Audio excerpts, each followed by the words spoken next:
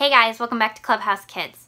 Today I'm going to be sharing with you my office. This is a video that I have been trying to record for almost six months, but I will be honest, my office is usually a mess. So my office is almost like a storage closet in our house, but it really, really works well because I store so much stuff in it. So if you're not familiar with my channel, I am a homeschooling mom of five kids. My youngest is almost done with second grade and my oldest is almost done with ninth grade.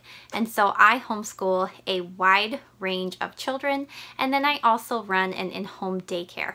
And so my office usually becomes the gathering place for all curriculum, daycare stuff, a bunch of items that we just don't know where it should go. But I try to not let it bother me too much because I feel like um, every house has to have somewhere that becomes a dumping ground.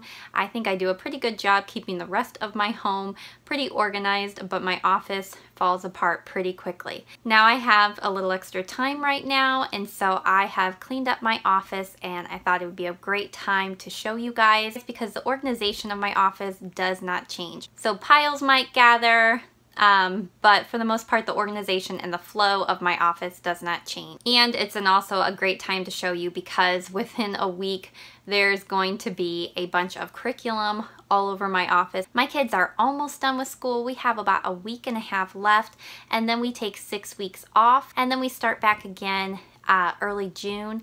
And so that is my time that I prep and plan their entire school year. And so my office really becomes um, just looks like a big curriculum sale. So I want to share with you guys my office. So if you're interested in that, stick around. So I will just give a very quick overview of the office and then I'll go back and explain how I have everything set up. And this is what I'm talking about. Look at my floor, it's all clean. This is usually where uh, piles start piling up, especially once I start getting my kids uh, new curriculum for the school year. Uh, we'll probably have five piles. I have five kids, so I'll have probably have five piles of curriculum. And then on my desk, you know, obviously paperwork and all that kind of starts piling up. But it is all clean right now, and so it's a perfect time to show you guys. So on this wall, I basically call this my wall of banker boxes. And if you are familiar with my channel, you know I like to store a lot of my daycare curriculum, my daycare activities, my kids curriculum in banker boxes because it is so easy to change them out. I can just scratch off what was in there before, write what's in there now, and it just works for me. They're cheap. Um, I usually buy them at Costco and I can get a lot of them in here at a time and keep all of my supplies organized, especially with my daycare. All I need to do to switch around my daycare classroom is find the month that we're going into. I pull all those boxes and I have everything in there that we will need for the month. And then with my kids curriculum, I can just pull the year that they're going into, look at look and see what's in there from, you know, a previous child uh, before I order new stuff or, you know, different curriculum that works for them.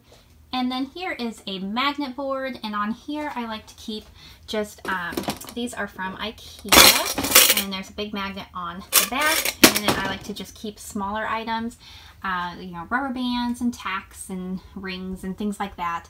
Um, it's really easy and they don't get lost. Now, the one of my favorite things to keep myself organized is a very simple uh, dish tub. This is from the dollar store and basically any mail or paperwork or anything that I need to absolutely get done gets thrown into this tub. And then my office hours is on Wednesday evenings and the very first thing I do is um, go through this tub.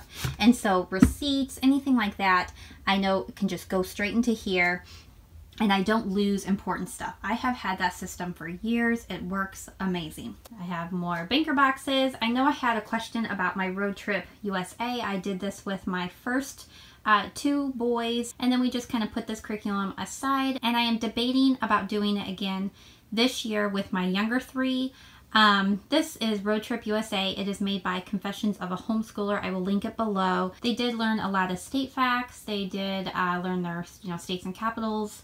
And so for that, it was worth it. I don't think they loved it, um, but I do feel like it is a good curriculum.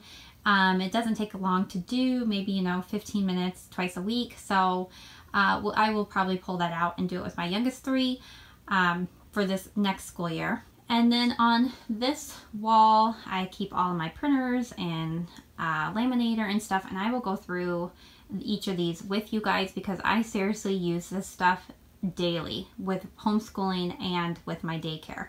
So my first one is my printer. I use this thing daily, if not more than once a day.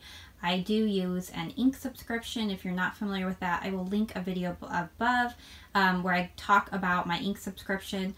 Um, it is seriously the best thing. This printer is going strong for about three years. It is a great printer. So it's an HP OfficeJet 8710. And then a laminator here, I have just a Scotch laminator. You guys, I have had this thing for probably 10 years and I use it at least three to four times a week. It still works great. They have an updated one, but they are still only about 20 bucks and well, well worth it. Now the laminate that I use with it is just the Amazon uh, Basics laminate. You can buy the Scotch brand. They, it is a little bit of a thicker laminate, um, but it is more expensive than the Amazon Basic one, and the Amazon Basic one works great. Um, so I will also link that below, and those Amazon Basic ones go through the Scotch laminator uh, just fine. And then I have um, a cutter to when I'm laminating and cutting uh, lots of things. This comes in really handy. And then I have a three ring hole punch that I use a lot. And then a binding system. This is another just absolute favorite. Um, so it's a ProClick uh, Swingline GBC. I will try to link, find this and link it below as well. I got this off of Amazon. I use this all the time to bind the kids' curriculum, to bind um, daycare stuff all the time. And what I really, really like about it is just like a hole punch. So there's nothing you have to plug in. You just put the papers up here and then basically, basically you're just cutting the holes and then you put the spine through the holes and the and down here is where I keep the spines so you buy just a box of spines and then you can just um, click them closed um, so you don't have to have one of those big old um, binding machines so this has been amazing. I use this all the time as well. Another organizing system that I use because with daycare and homeschooling, I have a lot of materials, a lot of art materials. You can see on this one here, I have a lot of uh, papers, envelopes, stickers, and stuff in this one. And then over here, I have a lot of uh, basically craft activities. So how I organize this is I use a labeler. It's just a LetraTag. Um, and basically you just turn it on you type in what you need, you hit print, and it prints a sticker right there. And then I can take that sticker and, and I can just stick it onto any of these organizers. And what makes it so nice is that if I switch out a drawer or a bin or use up the art material, I can just take that um, sticker off, put a new one on. And so it's just that system has worked many, many years for me. So in this organizer, I have that laminate. This is that Amazon Basic laminate that I purchased. Um, down here is sticker paper that I use a lot with my daycare kids. And so it's a sheet, just like a regular um, printer paper sheet, but you can use it for um, like packing labels, but I use it to print stuff off and then cut stuff out and like daycare kids can use it for like stickers and I can just print it just the same as um, just regular paper from my copier. Uh, this one is full of construction paper. This one is um, cardstock. Here are just some some binder organizers and then some like border paper underneath that. This is just a bunch of file folders that I use with my daycare. And this one is just full of stickers. In here, I keep those spines and, and envelopes. And this one, I just keep a bunch of different kinds of cards.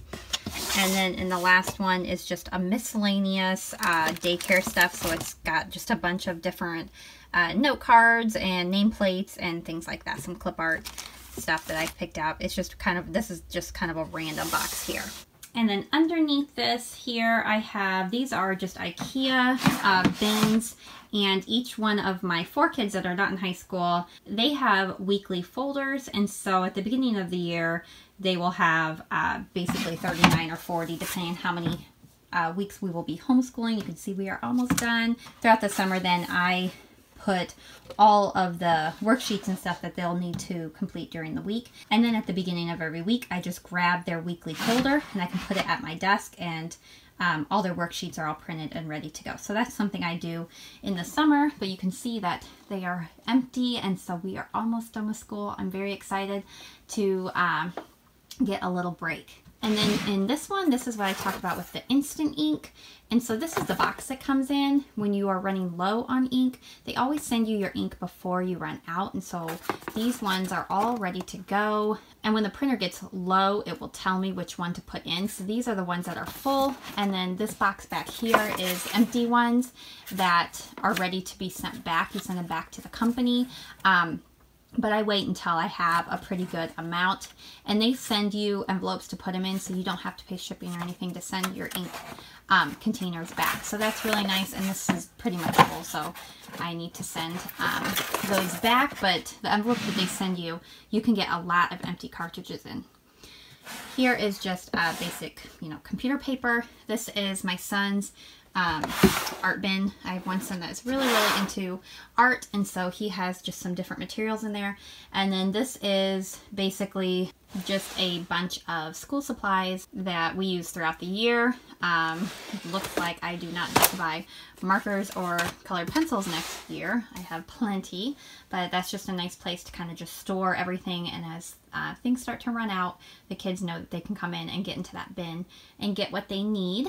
And then here's a, another container. So this is basically mostly daycare art materials.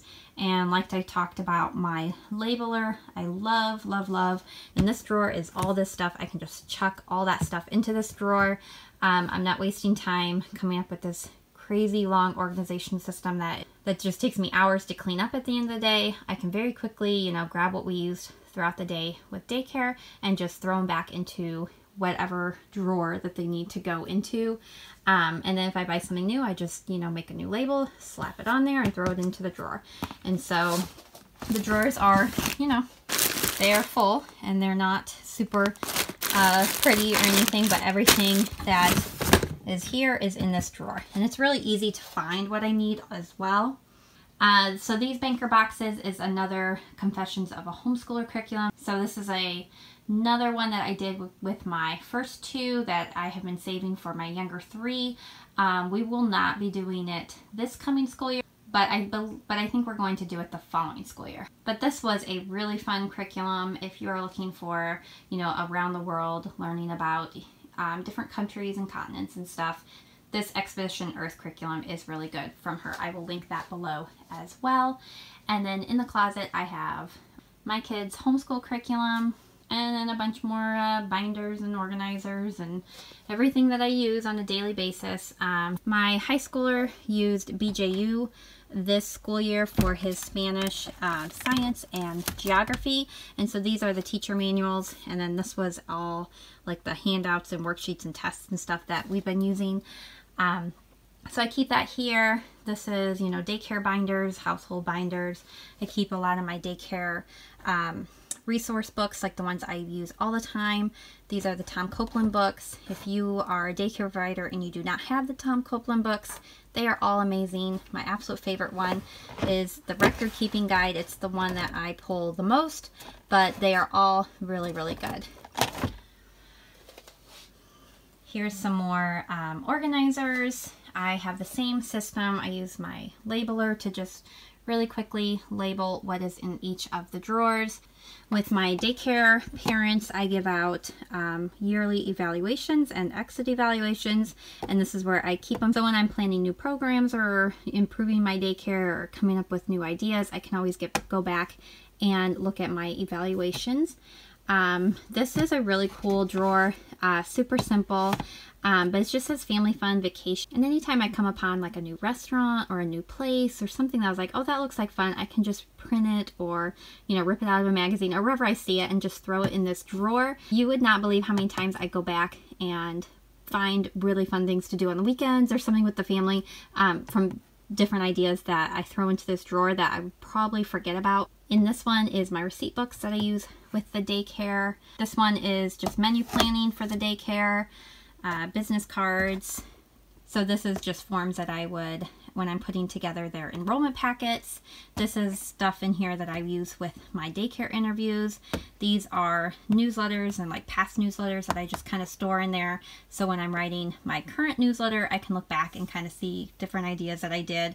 Um, in previous years. And then down here I have all of my curriculum binders. These are my infant toddler curriculum binders and everything that we use for the month is in each of these.